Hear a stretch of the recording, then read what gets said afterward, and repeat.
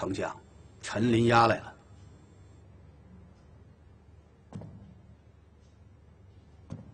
你就是陈林？是。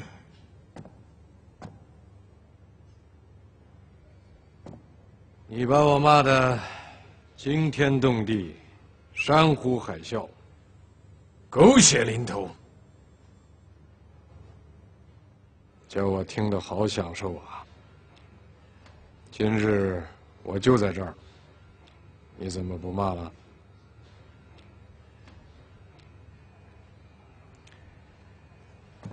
我告诉你，人呢，骂是骂不倒的。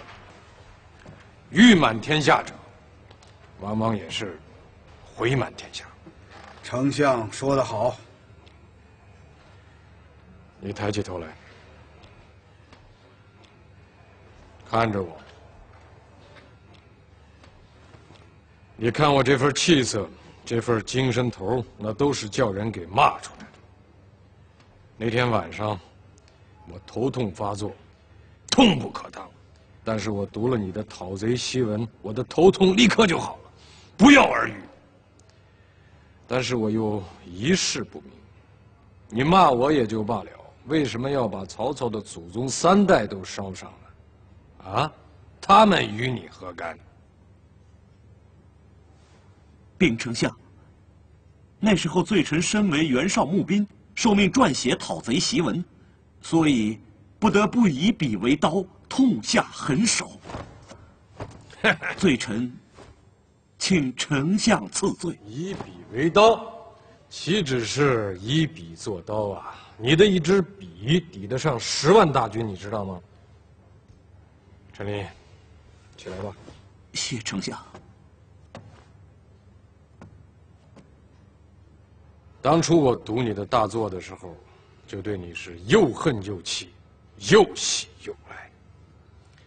今天我坐在袁绍的王座上，自然对你是更要刮目相看了。你的才气是既逼人又喜人，今后治政、与民、清史丹书。都少不了你这样的人才。当然，如果你要是不愿意做我的募兵，我就赏你一座宅子，二十匹绸缎，你尽可以关起门来吟风弄月。但是有个条件，写出了好诗文，第一个要送到我这儿，让我欣赏。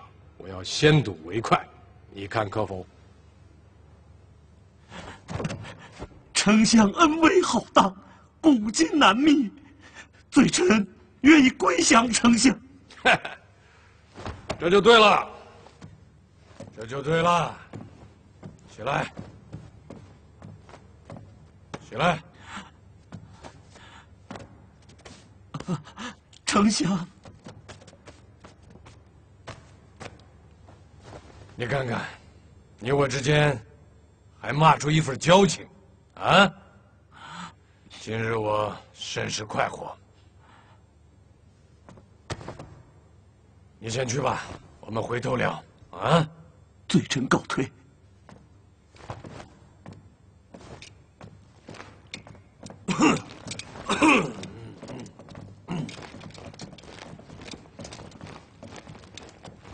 这是什么？这是从袁绍内府中搜出来的书信。嗯，都是谁写给袁绍的？在下不好说。你看看，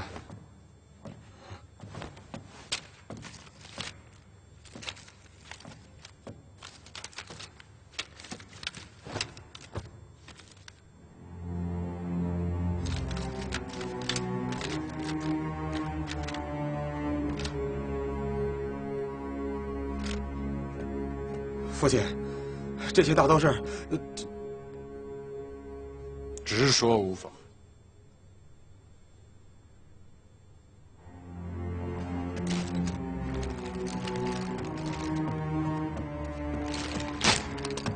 父亲，这些都是我方的文武官吏写给袁绍的信，他们早在建安初年就暗通袁绍了。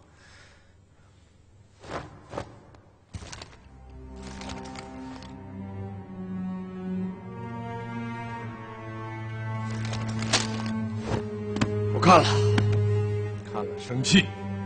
哼，